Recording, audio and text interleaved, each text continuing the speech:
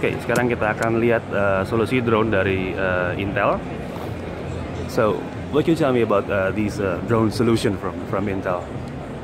We introduced the Intel Aero platform for UAVs, and it is a developer kit for drones.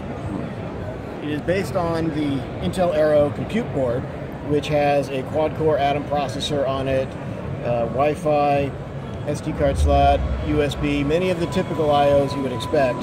But since it was designed specifically for drones, it also supports all of the drone specific IO you need for things like your flight controller, the motor controllers, and any uh, general purpose IOs you need for any applications. All right. This is available for pre order now. Already. Yes. Oh, great. We'll be shipping in, in a few weeks here.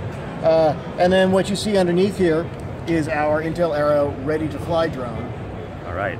To make it as easy as possible for an application developer to build their application and get it into the air, we are going to be building a complete ready to fly drone. It'll be fully assembled, include everything in the box that you need to fly.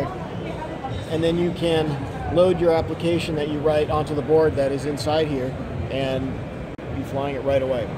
Oh, great. So, does it include already the RealSense? Uh, Yes, and it includes uh, the, the ready to fly kit will include the RealSense R200 camera as well as a uh, high resolution RGB camera and a secondary uh, VGA RGB camera.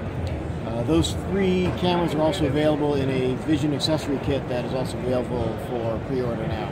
oh, so so it does come with a remote controller and everything. Oh yeah, great. So when is when is when is these uh, what do you call it? Uh, The, the, the, so the, the board, the compute board and the, the Vision accessory kit are available to pre-order now, 399 for the board, 399 for the board, yeah. 149 for the uh, Vision accessory kit. The ready-to-fly drone with the, the complete package uh, will be available in fourth quarter, and uh, pricing will be uh, available soon. Fourth quarter. Yes. so now we can say that Intel is selling drones Uh, yes. for some reason, yeah. But for developers only, Uh, or is it open for everybody? That's what it's tar- it's targeted for developers. Uh, you know, anybody could build it, you could buy it, and and and fly it. Uh, you know, it's not really optimized for a general consumer use. There are many other drones that are better for that. You know, Right. and, uh, in particular, we've worked with Yuneec on the collision avoidance software, which is in their Typhoon H, which is a great uh, drone for you know if, a consumer wants a, uh, a video drone that you know, can follow them around and, and shoot video of them. But if you're a developer and you want to build your own applications, this is really the way to go.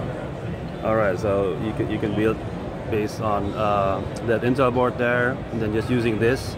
So then people can just make their own drones, right? Yep. And and of course with all the software and applications, right? Yeah. Okay, so this is great. Alright then, thank you. Jadi seperti kita lihat, uh, mulai tahun ini Intel terlihat uh, lebih uh, fokus lagi untuk drone. Di sini kita bisa di belakang saya ada beberapa uh, unit drone dari Intel dan nah, ini ada dari solusi yang lain yang juga menggunakan Intel. Lalu eh, di belakang saya ada akan berjalan demo dengan dari Intel. Jadi terlihat bahwa tahun ini jelas-jelas Intel sudah siap sekali untuk masuk ke teknologi drone.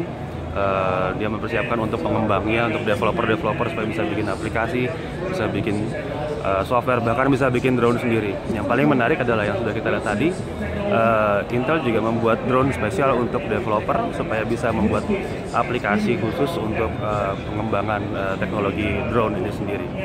Eh, apakah kita akan lihat drone buatan Indonesia dengan basis teknologi Intel? Nah, kita lihat nanti aja.